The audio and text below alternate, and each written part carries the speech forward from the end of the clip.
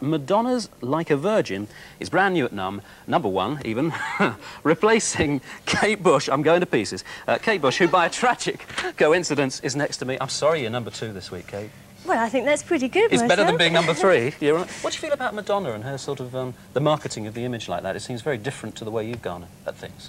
I don't know much about Madonna. I saw her on Live Aid and I thought she was really good. She's meant to be a good artist, it's true, but she, she seems to have gone for the sort of sex symbol uh, approach to success. We'll talk about your album. I can tell there's a look on your face. You, you, you're a very determined girl. You went away on your own terms to make this LP, didn't you? Yes, I, I wanted to make sure that uh, we got our own studio together. That was the next move, really. I spent a lot of time on the last album, moving from studio to studio. And uh, now we've got our own place and everything is brilliant. It makes such a difference. Is it difficult choosing the right sort of gear to put in there, the right people to work with in that studio, and the location, of course? I think it, it's really good because you can get everything you want in one studio, which isn't always easy in a London studio. Mm. What were you looking for? What makes your studio special for you? Well, it's got all the environmental things that we want, the right kind of sounding rooms, and we've got all the outboard equipment and the right kind of speakers and everything. Mm. It's uh, what we want, which is why we did it. you say we all the time. It's, it's very much, though, a very solo sort of thing. I mean, you've produced the thing, you've written the thing. Um, even though you have other musicians playing on it, you're calling the shots, aren't you? I'm in control, but there's no way I could do it by myself. I rely on very good engineers and musicians and people around me to advise me. Yes, how do you keep tabs on whether you're losing track of reality, you know, whether you're getting too self-indulgent? You mean uh, in context of an album? Yeah. I think you just have to rely on a voice inside you saying that it's getting better and everything that you do to it does make it better and not worse. Mm. Actually, a lot of critics have felt, uh, well, the ones I've seen, that there are some very, very commercial bits in this as well, that uh, maybe you were aware that the last LP perhaps did go away from the mainstream a bit.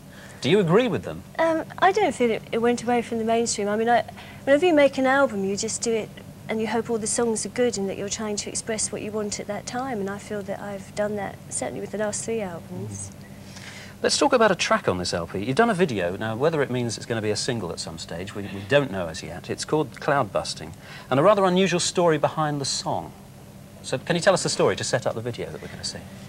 Yes, it was very much inspired by a book that I found on a shelf about nine years ago, and it's written by a man called Peter Reich, and the book's called A Book of Dreams. And it's very much written from a child's point of view about his father. You see the book in the video if you're clever. Yes, right. yes, don't blink or you'll miss it. and uh, it's really about the magic of that relationship and, and how much his father meant to him. Um, and they have a very special thing they can do. They go up onto a hill with a machine that his father's built and they make it rain. We will see the story now in the video, which uh, we ought to watch closely. Watch the, watch the people performing in this. This is the video, then, for the, uh, the cloud-busting track from Kate Bush. I still dream of Orgonon. I wake up crying. You're making rain, and you're just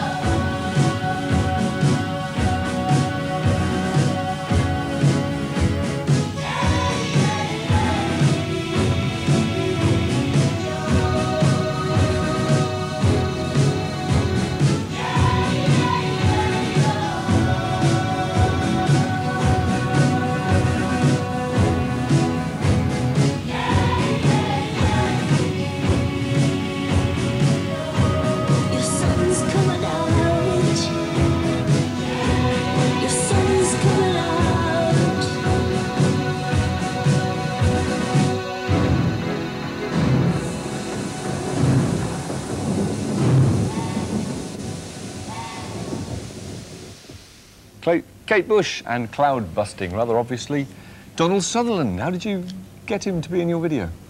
Well, we rang him up and said, would he be interested, and said yes. And what was he what was he like to work with? I think that's the question. I think that is the question. He was brilliant, absolutely brilliant, and he was such a help to me as well. Fantastic. A real honour to work with him.